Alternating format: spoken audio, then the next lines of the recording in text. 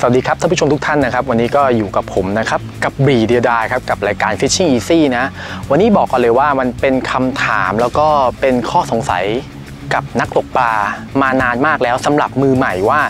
การที่เราจะตีเหยื่อปลอม หรือการตกปลาด้วยรอก baitcasting เนี่ยครับมีวิธีการอย่างไรที่จะตีแล้วไม่ให้ฟู่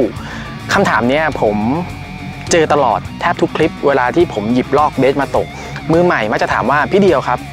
ตียังไงไม่ให้ฟู่ครับ พี่เดียวครับ ตียังไงให้ตีลอกเบสได้ไกลๆพี่เดียวครับมีวิธีการปรับลอกเบสยังไง เพื่อตีแล้วไม่ให้ฟู่พี่เดียวครับ ปุ่มปรับคอนปรับยังไงครับ พี่เดียวครับหน่วงปรับยังไงครับ สารพันปัญหาทั้งหน่วงแม่เหล็ก ทั้งเม็ดลาทั้งหน่วงชิมาโน่ทั้งหน่วงไดว่า ทั้งหน่วงอาบูทุกคำถามมีมาตลอดนะ วันนี้ผมก็เลยจะมาบอกประสบการณ์ส่วนตัวแล้วกันว่า ผมมีวิธีการปรับ ตั้งค่าหน่วงรอกยังไง แล้วก็มีวิธีการตีเบ็ดยังไงไม่ฟู่นะ ส่วนวิธีการตีเบ็ดเนี่ยผมก็เคยได้สอนน้องดีมเชื่อไหมว่าน้องดีมตีเบ็ดภายใน 2 ชั่วโมง ตีรอก bait ไม่ฟู่แล้วตีไกลด้วยนะครับอะเดี๋ยวมาดูเทคนิคกันว่าผมมีวิธีการยังไงในการตีรอก bait นะครับเอาละครับ ก่อนที่เราจะไปตีลอกเบสนะครับ ขั้นแรกเราจะต้องมารู้ก่อนว่า ระบบหน่วง แล้วก็ปุ่มปรับคลอนมันอยู่ตรงไหนนะอะเรามาดูนะครับ นี่ก็คือลอกเบสของชิมาโน่นะครับทุกรอกเบสทุกตัวนะครับ จะต้องมีอยู่ 2 อย่างที่เกี่ยวพันกับการตีเหยื่อก็คือ ปุ่มปรับคลอนคือตรงนี้นะครับ ปุ่มปรับคลอนเนี่ยจะอยู่ข้างข้างแขนนะครับลอกทุกตัวมีหมดอันนี้ลอกชิมาโน่นะอะเดี๋ยวเรามาดูปุ่มปรับคลอน ตัวนี้เป็นลอกไดว่าอะตัวนี้เป็นลอกไดว่ารุ่นใหม่ล่าสุดเลยนะครับ ก็จะมีปุ่มปรับคลอนเหมือนกัน แต่ปุ่มปรับคลอนของไดว่ารุ่นใหม่เนี่ยเขาจะถูกตั้งมาจากโรงงานแล้ว ซึ่งเขาแจ้งว่าเป็น zero adjust zero adjust หมายความว่า คุณไม่ต้องไปทำอะไรเลย เขาตั้งค่ามาให้แล้ว แต่ว่าถ้าเป็นลอก เป็นลอก เก่าๆ ไม่ใช่เก่าๆ ก็คือทั่วไปทั่วไปนะครับ ก็จะมีปุ่มปรับคลอนอย่างแมกกาแบตัวนี้ก็จะมีปุ่มปรับคลอนแมกกาแบอัลฟาทั้งหมดจะเหมือนกันนะครับ จะมีปุ่มปรับคลอน แล้วไอ้ปุ่มปรับคลอนนี่ทำหน้าที่อะไร ปุ่มปรับคลอนเนี่ยจะทำหน้าที่เป็นตัวที่จะหมุนเข้าไป แล้วก็จะไปดันแกนสปูลนะครับ ดันแกนสปูล ซึ่งดันไปแล้วเนี่ยมันจะเกิดความหนืดความไหลลื่นหรืออะไรครับ มันมีวิธีเทคนิคในการปรับว่าเราควรจะต้องปรับยังไง ขั้นแรก ก่อนที่เราจะตีลอกเบสนะครับ ทุกคนหยิบลอกตัวเองขึ้นมา ขั้นแรกผมจะบอกว่าคุณปรับคลอนเบรกก่อน ผมจะคลายนะครับ ผมจะคลายอะเราคลายเบรกก่อนนะครับจะได้จะได้จะได้หมุนฟรีลอกได้นะครับเราคลายเราคลายปุ่มปุ่มปุ่มปัดคลอนเบรกก่อนแล้วตอนนี้ผมคลายปรับคลอนเบรกแล้วนะนะครับ ตอนนี้พอคลายปรับคลอนเบรกปั๊บเนี่ยสปูลนะครับจะขยับได้แบบนี้ เห็นสปูลไหมครับ ขยับได้นะ จะกุกกักกุกกักกุกกักกุกกักกุกกักกุกกักเลยนะครับ ทีนี้พอสปูลขยับได้แบบนี้เนี่ยเราก็ค่อยหมุนนะครับปรับคลอนเบรกเข้าไป หมุนแบบไหนอะยังคลอนอยู่อันนี้เห็นไหมสปูลยังคลอนได้อยู่ ยังคลอนได้อยู่ เราหมุนกลับเข้าไปอีกนะครับ กลับเข้าไปอีกอ่ายังคลอนได้อยู่โหแสดงว่าผมคลายมาเยอะมากอ่าคลอนเข้าไปอีกนะครับ กลับเข้าไปอีก เนี่ยตอนเนี้ยผมจะบอกว่า เวลาเราปรับเข้าไป ให้เราเอานิ้วจับเนี่ยครับ แล้วเรามีความรู้สึกว่า มันขยับได้กึกกึกกึกกึกนิดเดียวประมาณสักครึ่งมิลลิเมตร ไม่ให้ปรับคลอนกดจน spool หนืดหรือว่าขยับไม่ได้นะ ให้รู้สึกเนี่ยครับ เนี่ยเดี๋ยวนะ ถ้าถ้าถ้าทุกคนเห็นนะครับ จะเห็นว่า spool มันสามารถขยับได้เบาๆกิ๊กกุ๊กกิ๊กกุ๊กกิ๊กกุ๊กกิ๊กเบาคือขยับได้นิดเดียวจริง ๆ คือมีที่ว่างนิดเดียวให้รู้สึกว่าขยับแบบกึกกึกคือเราต้องจับใช้มือจับว่าขยับได้นิดเดียวนะอะโอเค แบบนี้เรียกว่าตั้งค่าปรับคลอนโอเคแล้วต่อมาครับ เป็นการปรับระบบหน่วงนะครับ เราก็เปิดลอกมาแล้วก่อนเลย อันนี้เราเปิดชิมาโน่ก่อนนะครับ หน่วงชิมาโน่มีหลายแบบนะ อันนี้เป็นหน่วงรุ่นใหม่ของเขานะครับ เป็นหน่วงรุ่นใหม่ของเขา ซึ่งระบบหน่วงรุ่นใหม่เนี่ยเดี๋ยวผมจะอธิบายทีหลังนะขั้นแรกให้เพื่อนๆ สมมติเป็นหน่วงชิมาโน่แบบนี้นะครับ ให้เรากางเม็ดหน่วงเนี่ยออกมา ปกติเม็ดหน่วงนะครับ มันจะ ติดกันอยู่แบบนี้นะครับ ติดกันอยู่ มันจะล็อกมันจะล็อกติดอยู่แบบนี้นะจะล็อกติดอยู่แบบนี้นะครับ จะล็อกติดอยู่แบบนี้นะครับ จะล็อกติดแบบนี้ ให้เรากางเม็ดหน่วงออกมาครับ ก่อนเลย 2 เม็ดนี่กางมาเลยครับ 2 เม็ดอ่านะครับสำหรับมือใหม่กาง 2 เม็ดคุณไม่ต้องไปกางหมดนะทำตามผมนี่คือเทคนิคของผมคือคุณกางมา 2 เม็ดพอนะครับ แล้วคุณก็ปิดฝากลับไปเหมือนเดิมนะครับ ปิดฝากลับไปเหมือนเดิม เดี๋ยวผมจะมาสอนการตีลอกเบสของชิมาโน่ก่อนนะครับขั้นแรก ถ้าเราไม่เคยตีลอกเบสเลยนะนะครับ ที่ลอกมันจะมีเขียนอยู่นะครับมินนะครับมินมินและแม็กซ์คำว่ามินและแม็กจะมีเขียนติดอยู่ตรงนี้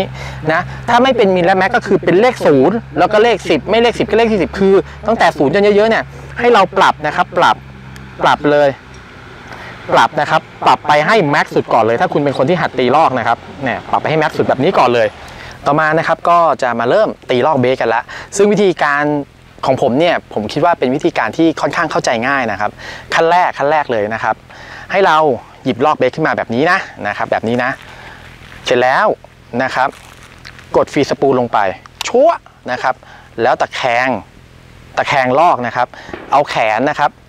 ลงไปด้านนี้ นะครับลงไปด้านนี้นะ เอาแขนลอกลงไปด้านนี้ อันนี้คือรอบหมุนซ้ายนะครับ แต่ถ้าเป็นรอบหมุนขวาเนี่ยถ้าเราตะแคงเนี่ยแขนลอกนะครับจะขึ้นมาอยู่ด้านบนแบบนี้นะ เอาเข้าใจตรงกันนะครับ ทีนี้นะครับให้เรา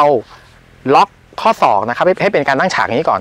พอเป็นการตั้งฉากแบบนี้ได้นะครับ ยกแขนขึ้นมาแบบนี้นะครับ แค่นี้ก่อนนะครับ แค่นี้ก่อนนะครับ แล้วตีออกไป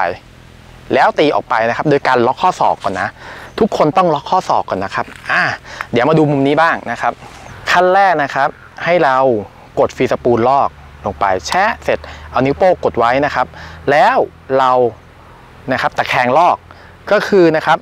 หลังมือเราครับจะอยู่ด้านบนนะครับ หลังมือเราจะอยู่ด้านบนนะครับ เห็นไหมครับท่อนแขนเราอยู่ด้านบนหมาเลยนะครับ แล้วทีนี้ให้เราล็อกล็อกหัวไหล่เราเลยนะครับ แล้วยกแค่ข้อศอกมาเฉยๆแบบนี้นะครับ แบบนี้นะ เดี๋ยวผมจะตีให้ดูนะครับ เรายกมาปุ๊บแล้วเราตีออกไป พอเหยื่อจะตกน้ำให้เรากดหยุดนะครับ ให้เรากดหยุดอะล็อกอกลับมาก่อนนะครับ วิธีการตีนะครับหัดตีนะ แล้วคุณจะเป็นง่ายคุณจะจับจังหวะง่ายนะครับ กดฟีสปูลตะแคงลอกนะครับ ยกขึ้นมานะครับ ยกขึ้นมา ยกขึ้นมา แล้วตีออกไป ยกขึ้นมาเสร็จ ตีออกไปพอเหยื่อจะตกน้ำให้เรากดสปูลเพื่อให้หยุดเหยื่อนะครับอะแล้วก็เวลาที่เราหัด ตีเหยื่อนะครับ การทิ้งเหยื่อลงมาจากปลายคันเบ็ด มีผลต่อการตีค่อนข้างมากนะครับ สมมุติเรากรอเหยื่อนะครับ ไม่ว่าความยาวคันเบ็ดเราจะเท่าไหร่นะครับ ให้เรากรอขึ้นมานะครับนะประมาณนี้นะ ผมจะวัดให้ประมาณไหน ความยาวตั้งแต่ปลายคันเบ็ดนะครับ จนถึงตัวเหยื่อเนี่ยต้องถึงถึงกิฟนะครับ ประมาณ1ศอกของทุกคนนะ ไม่ว่าคุณสูงเท่าไหร่ให้คุณวัดตั้งแต่ปลายคันเบ็ดจนถึงตัวเหยื่อแค่1ศอก แล้วคุณจะตีเหยื่อได้ดีขึ้นนะครับ ลองทำดู ผมจะย้อนอีกครั้งหนึ่งนะครับ ขั้นแรกนะครับ กดฟีสปูลนะครับมาดูใกล้ๆนะครับ กดฟีสปูลแชะนะครับตะแคงลอกนะครับ ตะแคงลอกให้หลังมือเราเราแหงนขึ้นฟ้านะครับ เสร็จแล้วนะครับ ล็อกหัวไหล่ไว้นะครับ ล็อกหัวไหล่ไว้ ง้างคันเบ็ดขึ้นมานะครับ แล้วตีออกไป ถ้าคนที่หัดตีให้จับสองมือนะครับ จับที่ปลายคันเบ็ดนะครับดูนะครับ จับที่ปลายคันเบ็ดตะแคงเสร็จจับ แล้วตีออกไป พอ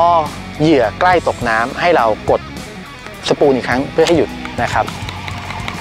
อะเดี๋ยวผมจะมาหยิบลอกเบสของไดว่านะครับ ตีดูบ้างว่าจะเป็นยังไงนะครับ ต่อมานะครับจะเป็นรอก bait ตระกูล Daiwa แต่ที่ผมเอามานี่คือ Megabass Zonda นะ แต่ว่ามันเป็น body เดียวกับ Daiwa Alphas ซึ่งทุกคนคิดว่าน่าจะเคยใช้กันมานะครับขั้นแรกเหมือนเดิมให้เราปรับคลอนก่อนนะครับ มาดูปรับคลอน ตอนนี้ผมคลายคลายปรับคลอนนะครับคลายปรับคลอนละ ตอนนี้เห็นไหม spool เนี่ยกุกกักกุกกักกุกกักกุกกักได้เลยนะ คือหลวมมาก ผมก็ค่อยๆจูนปรับคลอนโดยการหมุนเข้าไปนะครับ หมุนเข้าไป หมุนเข้าไปอีกนะครับ จนให้ spool ขยับได้นิดเดียวนะครับ ได้นิดเดียวนะ ไม่ให้ spool แบบว่าตายเลยนะ ให้ spool ขยับได้เบาๆนิดเดียวนะดังกิ๊กกิ๊กกิ๊กกิ๊กนิดเดียวนะอะนิดเดียวครับตอนนี้ผมรู้สึกว่า spool ขยับได้นิดเดียวนะ แต่ว่า spool ขยับได้นิดเดียวไม่ใช่ว่ามันสั่นกึกๆๆนะคือขยับได้เยอะนะคือแบบเราต้องใช้นิ้วโป้งทาบลงไปแล้วเราก็ลองขยับดูอ่าโอเคแบบนี้นะ ทีนี้ปรับหน่วงของไดว่านะครับ ถ้าเป็นรุ่นก่อนๆหน้าก็จะเป็นแบบหน่วงเป็นแบบขีดๆหรือเป็นตัวเลข ทุกคนจะเห็นชัด อันนี้จะเขียนว่า off นะครับแล้วอีกฝั่งหนึ่งก็จะเป็นหมายเลข 10 นะ อันนี้อันนี้หน่วงปรับตัวเลขเนี่ยให้เราหมุนมาที่เลข 10 ก่อนเลยนะครับง่ายๆสำหรับคนหัดตีนะนะครับแล้วก็ทำเหมือนเดิมนะครับ ทิ้งเหยื่อประมาณ1ศอก ขั้นแรกลอกไดว่าเหมือนกันกดฟีสปูลนะครับตะแคงลอกนะครับ แล้วตีออกไปอะสังเกตไหมว่าพอเราปรับหน่วงเป็นเลข 10 แล้วจะตีได้ไม่ไกล แต่ผลก็คือ ลอกจะไม่ฟู่นะนะครับนะครับ เหมือนเดิมครับ หัดอีกใหม่นะครับ กดฟีสปูลตะแคงลอกนะครับ แล้วตีออกไป พอทุกคนเริ่มตีแล้วไม่ฟู่นะครับ จากท่าแบบนี้นะ พอเริ่มตีไม่ฟู่แล้วนะครับ เรารู้สึกว่าเอ้ยเราตีออกไปแล้ว เราตีไม่ฟู่แล้วเริ่มตีได้แล้ว ขั้นต่อมานะครับให้เราเลยนะครับ จากหน่วงเลข 10เนี่ยครับให้เรา เลื่อนมานะครับ ครึ่งหนึ่งก็คือเลข 5 ให้เราตีหน่วงแบบครึ่งหนึ่งเพราะว่าการที่เราปรับหน่วงมาครึ่งหนึ่งเนี่ยมันจะทำให้สปูลแบบไหลเร็วขึ้นเลยนะ แล้วระยะการตีก็จะเพิ่มขึ้นด้วย แล้วทีนี้ทุกคนจะได้ควบคุม ระบบสปูลของเรานะครับ เหมือนเดิมนะครับ กดฟีสปูลคว่ำนะครับ แล้วเราก็ตีออกไปจะตีได้ไกลขึ้นนะครับ จะตีได้ไกลขึ้นนะครับ แล้วเวลาตีเหยื่อนะครับ สมมติเรากดฟีสปูลนะครับมือใหม่ทุกหลาย ๆ คนมักจะเปิดนิ้วไปเลยนะครับ เราไม่เปิดนิ้วไปเลยแบบนี้นะ เราจะเปิดนิ้วออกมานะครับ โดยที่เราจะใช้นะครับ นิ้วโป้นะครับ แตะไว้เบาๆ การแตะไว้เบาๆเนี่ยครับภาษาการตีรอบเบสเรียกว่าการเลียนะครับ ให้เราเอานิ้วโป้นะครับเลียไว้เบาๆนะครับ เพราะว่าถ้าเราผิดจังหวะเมื่อไหร่เนี่ยเราสามารถใช้นิ้วโป้กดหยุดได้เลยนะครับ แล้วเวลาการฟู่ของลอกเนี่ยมันจะน้อยลงนะครับ สมมุติเราปรับหนุกหน่วงเนี่ยมาครึ่งหนึ่งแล้วเนี่ยการตีนะครับเราจะต้องใช้นิ้วโป้เลียที่สปูลไว้คือแตะไว้ที่สาย PE เบาๆอะดูนะครับ เดี๋ยวผมจะตีนะครับอะเลียครับเลียเบาๆนะครับ ผมจะเลียเลียไว้เบาๆนะครับนะครับพอเราตีไปจังหวะที่เราตีไปเราเปิดนิ้วครับพอกันเหยื่อใกล้ลงครับ เราเอานิ้วเลียที่สปูลไว้แบบนี้นะนะครับ เดี๋ยวดูอีกรอบนะครับ จังหวะที่เราเลียสปูลนะ เราจะเปิดนิ้วนะครับ ตอนตีตีไปปั๊บเปิดนิ้วแล้วเราก็จะเอานิ้วโป้ค่อยๆเลียนะครับเนี่ยถ้าเหยื่อตกน้ำแล้วเราเลียไม่ทัน หรือเรากดไม่ทันนะครับ จะมีการคลายตัวของสายแล้วก็ดึงนะครับดึงสายมาแค่นี้เองนะครับ ลองลองนำไปใช้ดูครับวิธีนี้ แต่ว่านักตกปลาหลาย ๆ คนนะครับที่ หัดตีลอกเบสแล้วใช้ท่าตีแบบนี้ ผมแนะนำว่าท่านี้ถามว่าผิดไหม ไม่ผิด เพราะบางคนหัดแล้วเขาตีได้ แต่สำหรับการตีเหยื่อปลอม ถ้าตีท่านี้เมื่อไหร่คุณจะตีในท่าที่เรียกว่ามันฝืนธรรมชาตินะครับ การตีท่านี้คือเรากดฟีสปูลนะครับ แล้วเราก็เอาลอกเนี่ยหงายแบบนี้เลย หลายคนที่หัดตีลอกเบสนะครับหงายแล้วตีแบบนี้ดูนะครับ ตีนี้เนี่ย มันตีได้ แต่มันผิดผิดธรรมชาติทำให้เรารู้สึกเกรงแล้ว เราตีลอกเบสยาก นี่คือผมตีลอกเบสไปแล้ว ไม่ว่าจะตีท่าไหนมันตีได้ แต่ว่าผมแนะนำนะเลยนะว่า ถ้าเราตีลอกเบสคือสมมติเรากดฟีสปูลเนี่ยเราอย่าเนี่ยทำแบบเนี้ยนะครับ ดูไหมครับนิ้วโป้นะครับดูนะ นิ้วโป้กดอยู่เสร็จ แล้วเราเกรงกลับมาอย่างเงี้ยเนี่ยข้อมือเราครับข้อมือเรา มันจะถูกล็อกที่ข้อมือเราเห็นไหมครับ เราจะล็อกข้อมือได้แค่นี้เอง เราจะง้างกลับหลังได้แค่นี้เองนะครับ แล้วเราตีออกไปเงี้ย เนี่ย มันจะฝืนนะครับ มันจะฝืน มันไม่เหมือนกับแบบนี้นะครับ อะดูนะครับ เรากดฟีสปูลปุ๊บนะครับ เราตะแคง เนี่ยเห็นไหมครับ เวลาเราตีออกไปนะครับเวลาเราตีออกไปครับ มันจะเกิดความเรียกว่าคล่องคล่องมากกว่า คือข้อมือเราจะ ค่อนข้างจะแบบบิดได้อย่างอิสระนะครับนะครับ ตีได้นะครับ แต่ถ้าเป็นแบบนี้นะครับ มือใหม่ดูเลยนะ ถ้าคุณตีแบบนี้กดอย่างนี้นะครับ แล้วทำแบบนี้เนี่ยมันถูกล็อกครับมันถูกล็อก พอมันถูกล็อกเสร็จแล้วคุณต้องทำไง คุณต้องใช้เปิดหัวไหล่ในการโยกตีแบบนี้ พอคุณโยกตีแบบนี้นะครับ เนี่ยมันจะฝืน มันจะฝืน มันจะฝืน มันจะฝืน แต่ว่าถ้าเรากดนี้ตะแคงตีอย่างนี้เห็นไหมมันผิวกว่าเห็นปะมันผิวกว่า พอเราหัดตีแบบล็อกข้อศอกจนคล่องแล้ว เราก็จะมาตีแบบเปิดไหล่เลยนะครับ เหมือนกันง่าย ๆนะครับ จากแม็กนะครับ ผมหมุนมาให้อยู่ตรงกลางนะครับ แล้วเราก็จะตีแบบเปิดหัวไหล่เลย เปิดหัวไหล่คือ เราจับสองมือนะครับ เราสามารถ เพราะจังหวะข้อศอกเนี่ยเราเป็นไปโดยธรรมชาติ แล้วต่อมาพอเราเปิดหัวไหล่แล้วนะครับเราจะตีได้ไกล เราจะตีได้ไกลมากนะครับ เราจะตีได้ไกลมากนี่คือการท่าตีแบบเปิดหัวไหล่เลยนะคือตีแบบปกติเลยนะครับ เดี๋ยวลองผมจะตีให้ดู พอดีมีเพื่อนนักตกปลายฝั่งตรงข้ามเดี๋ยวผมจะตีทางนี้นะครับนะครับ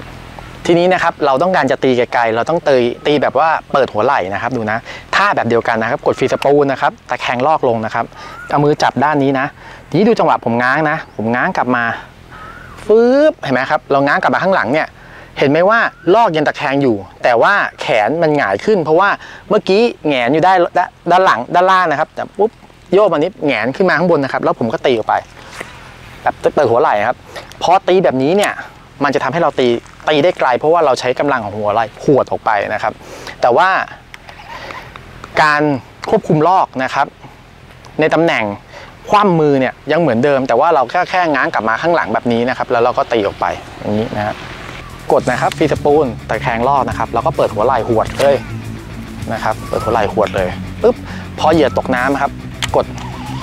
สปูลเท่านั้นเอง สิ่งสำคัญก็คือการ ปรับหน่วงลอกหน่วงลอกเนี่ยสิ่งที่เราทำได้อย่างเดียวคือ การปรับจากหน่วงด้านข้างที่มีเลขหมุนให้บอก เพราะว่าหน่วงตรงนี้คือการปรับหน่วงจริง ๆ ไอ้ฝั่งที่เป็นนะครับปรับคอนเราไม่ต้องไปยุ่ง เราปรับครั้งเดียวนะครับ ถ้าเราตีฟู่ให้เรามาหมุนปรับหน่วงก่อนนะครับ หรือถ้ายังฟู่อีกจากเม็ดหน่วงที่เปิดอยู่ 2 เม็ดให้เปิดเป็น 4 เม็ดสำหรับชิมาโน่นะครับส่วนลอกไดว่าก็ เปิดเลข 10 หัดตีไปก่อนนะครับ แล้วก็เราก็เลือกเหยื่อที่ค่อนข้างมีน้ำหนักหน่อยสำหรับการหัดตีนะครับ ก็จะทำให้เราสามารถตีเหยื่อเป็นได้รวดเร็วมากขึ้นนะครับ นี่ก็เป็นเทคนิคเล็กๆน้อยๆครับจากผมก็หวังว่าเพื่อนๆจะนำวิธีนี้ไปลองหัดทำดูนะครับ ส่วนใครที่ยังนะครับ เหมือนที่ผมบอกตีแล้วหงายรอบแบบนี้อยู่ ก็ลองทำแบบที่ผมบอกแล้วลองตีดู คุณจะรู้สึกว่าการตีลอกเบสเนี่ยมันช่างง่ายมากนะครับโอเคคลิปนี้ผมก็มีฝากเทคนิคไว้เพียงเท่านี้นะครับ ก็อยู่ไว้เจอคลิปหน้าสำหรับ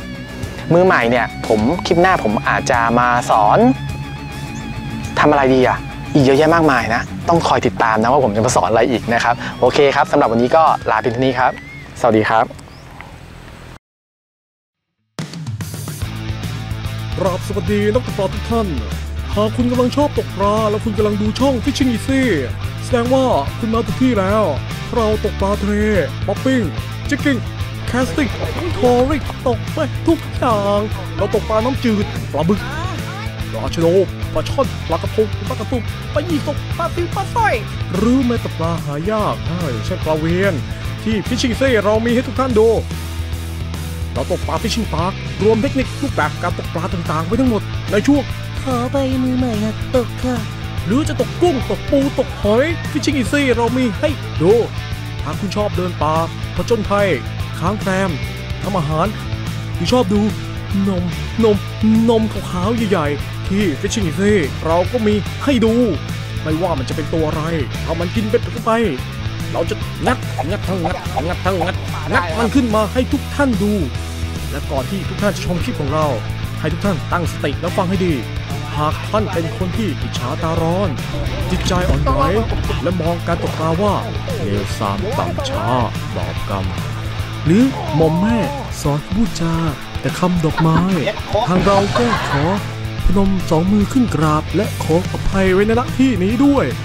แล้วก็ขอให้ทุกท่านกดปิดแล้วไปดูช่องอื่น เพราะช่องนี้มีแต่คำหยาบคายความจังไร เกือบทุกคลิปเลย ส่วนน้องๆหนูๆที่อายุต่ำกว่า 18 ปี ให้ไปเรียกหมอมแม่มานั่งดูด้วย เพราะมีตัวอย่างที่ไม่ดี และบางสิ่งก็ไม่ควรทำตาม